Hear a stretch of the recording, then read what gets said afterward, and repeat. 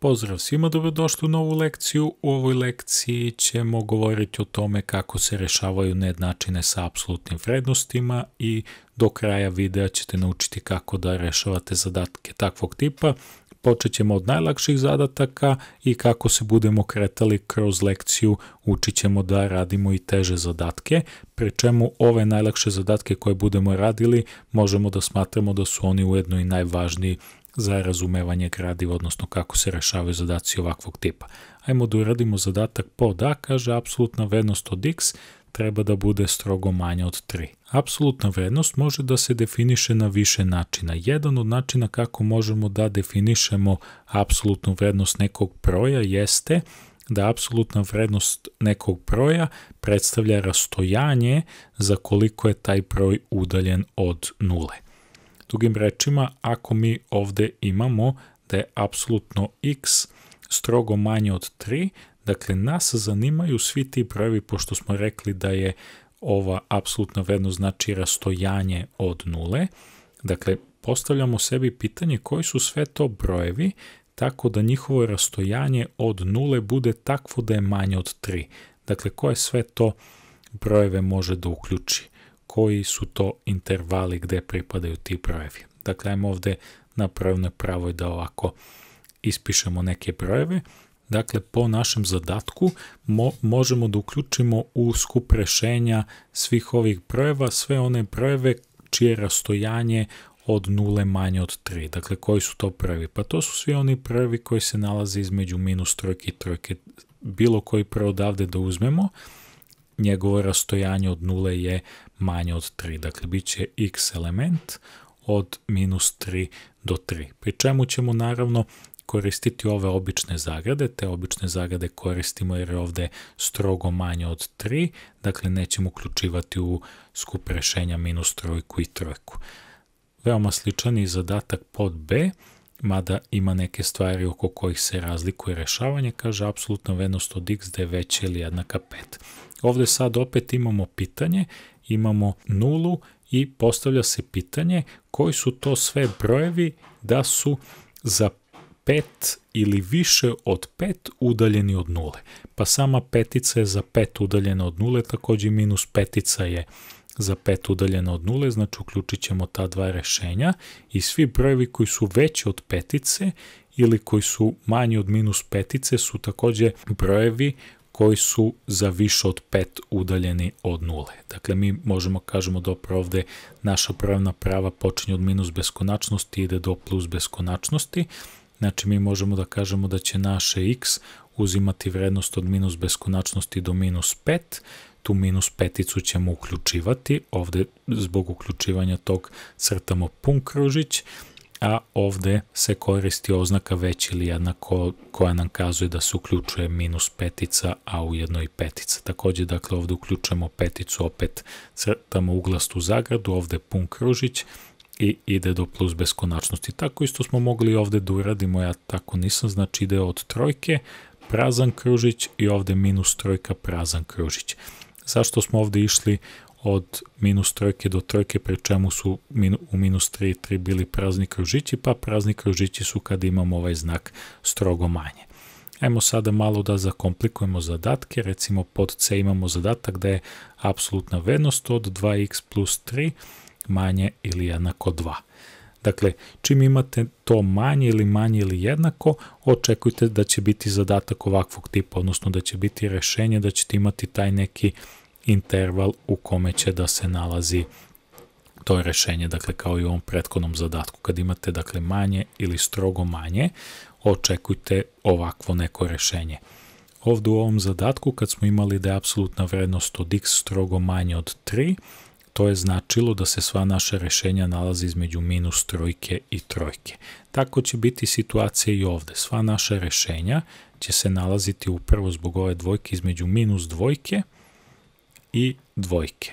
Dobijemo ovako nejednačinu, pa ćemo da je podelimo na dva dela i radit ćemo u dva dela. Ovo će biti prvi deo, mogu da ga prepišem, minus 2 manje ili jednako od 2x plus 2, a drugi deo će biti ovaj, 2x plus 2, da je manje ili jednako 2. E sad ovo hoću da oprnem, dakle da im ovako zamenim mesta, da mi ovaj x bude sa leve strane. I sad kad zamenimo mesta ovim stranama u nejednakosti, menja se i znak nejednakosti. Ovde je bilo manje ili jednako, sad ću napisati veće ili jednako. Znači, bit će da je 2x plus 2 veće ili jednako od minus 2. Sad hoću ovu plus dvojku da prebacim sa desne strane, kako bi sa leve ostali x-ovi, a sa desne da imamo prve. Dakle, bit će da je 2x veće ili jednako minus 2 minus 2, odnosno 2x je veće ili jednako minus 2 i minus 2, to je minus 4. Sad podelimo nejednačinu sa 2, imat ćemo da je x veće ili jednako od minus 4 podeljeno sa 2, odnosno x će biti veće ili jednako od minus 2, pošto minus 4 podeljeno sa 2, to je minus 2. Ajmo sada da uradimo i ovaj drugi deo nejednakosti, dakle tu ćemo ovde ovo plus 2 ćemo prebaciti sa desne strane, imat ćemo da je 2x manje ili jednako od 2 minus 2, odnosno 2x će biti manje ili jednako od 0, podelimo jednačinu sa 2 kako bi se izgubila ova dvojka ovde kod x-a, dobit ćemo da x manje ili jednako od 0 podeljeno sa 2, odnosno x će biti manje ili jednako od 0 jer je 0 podeljeno sa 2, 0. I da vidimo šta dobijamo ovde kao skup rešenja. Imamo nulu, od zanimljivih tačaka imamo minus dvojku. Znači ovaj prvi slučaj ovde nam kazuje da će x biti veći ili jednak od minus 2. Znači uključujemo tu minus dvojku i pratimo ovaj smer strelice, dakle smer strelice udesno, crtamo ovako. To je prvi deo rešenja, drugi deo rešenja je da x manje ili jednako nuli. Opet ovako podignemo i crtamo pun kružić zato što ovde imamo manje ili jednako da će biti i spuštamo naniže. Da vidimo koji je koja je unija tih, pardon, koji je presek tih rešenja, pa presek tih rešenja je ovo ovde.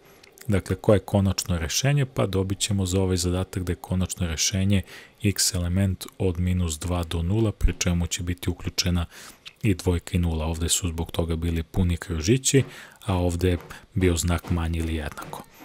Ajmo sada da uradimo zadatak pod D, kaže 3x minus 1 da bude strogo veće od 10 trećine. Dakle, kad imamo tako nešto da bude znak veći ili strogo veće, očekujte ovakva rešenja.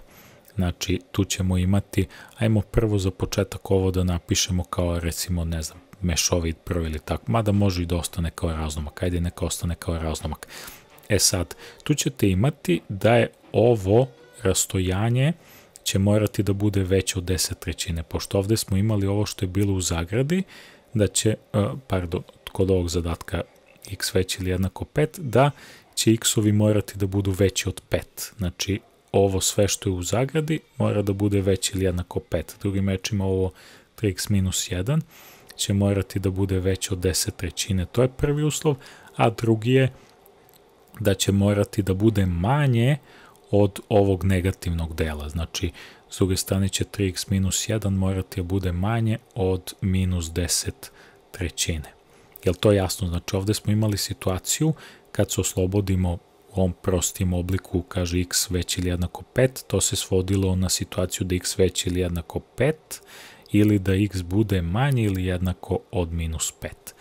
Dakle, možete da uočite to i ovde prikazano napravo na pravo. I sad rešavamo ove nejednačine, dakle, imat ćemo ovde da je 3x veće od ovo minus 1 prebacujemo sa desne strane. Dobro, možda je trebalo ovo 10 trećine da prebacim recimo u mešovit broj. 10 trećina u mešovit broj prebacujemo tako što 10 delimo sa 3, 10 podeljeno sa 3, to je 3, 3 puta 3, 9, ostatak će biti 1. Dakle, to će biti 3 cela, pišemo, ostatak nam je 1, a delove na koje delimo je 3. Dakle, to je 3 cela 1 trećina. Znači, 10 trećina je 3 cela 1 trećina plus 1, odnosno 3x će biti veći ili jednako 3 cela 1 trećina plus 1, to je 4 cela 1 trećina. 3x će biti veći ili jednako od 3 put 4, 12 plus 1, 13, dakle 13 trećina. Dobro, nije bilo potrebe, ajde ovaj drugi zadatak ću raditi kao razlomak. Sad ovdje imamo 3 puta x da je veće od 13 trećine, podelimo jednačinu sa 3, x će biti veće od 13 trećine podeljeno sa 3, odnosno x će biti veće od 13 trećine, znak podeljeno pretvaramo u puta, broj 3 obraćamo, on će postati jedna trećina, dakle x će biti veće od 13 devetine. 13 puta 1 je dakle bilo 13, 3 puta 3 je 9.